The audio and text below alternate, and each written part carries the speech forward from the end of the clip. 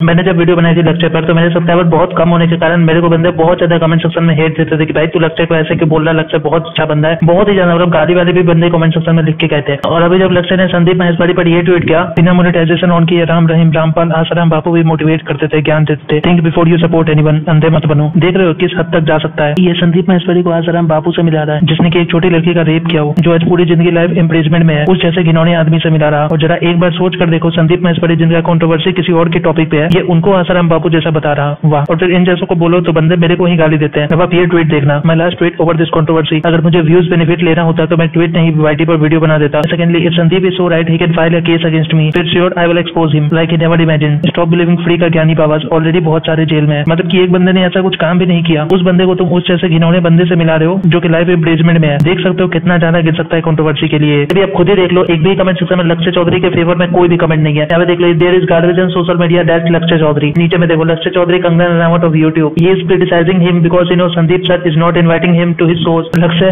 Lakshya needs controversy and new video. अब हिंदू मुस्लिम करने वाले ज्ञान देंगे संदीप महेश्वरी को सबको संदीप महेश्वरी सर के नाम पर व्यूज़ चाहिए, साले बेरोजगार भाई, मैं यही बात आपको बोला करता था, ठीक है, कि ये जो लक्ष्य चौधरी वगैरह जैसे है ना, और जो इसके जैसे जो वीडियोस बनाते हैं ना भाई, इनको सिर्फ़ और सिर्फ़ व्यूज़ से मतलब होता है कि भाई, कोई भी सही इंसान पर कुछ भी कमेंट करेंगे, और भाई, ऐसा दिखाएँगे ना, जैसे कि सामने वाला बंदा बहुत ही ज़्यादा गलत हो और ये बहुत ही ज़्यादा सही हो भाई, मैं यही चीज़ बोला करता था तो भाई, जब मैं बोला था तो मेरे सब्सक्राइबर तो कम थे तो भाई मेरे को बंदे गाली वाली देते थे कि भाई तेरा सब्सक्राइबर्स तो दस है, पाँच है तो भाई तू क्या ही बोल रहा है इस पे? तो भाई सब्सक्राइबर्स कम होने से क्या होता है? जो रियल है रियल बोल रहा हूँ भाई, इसमें गलत क्या है?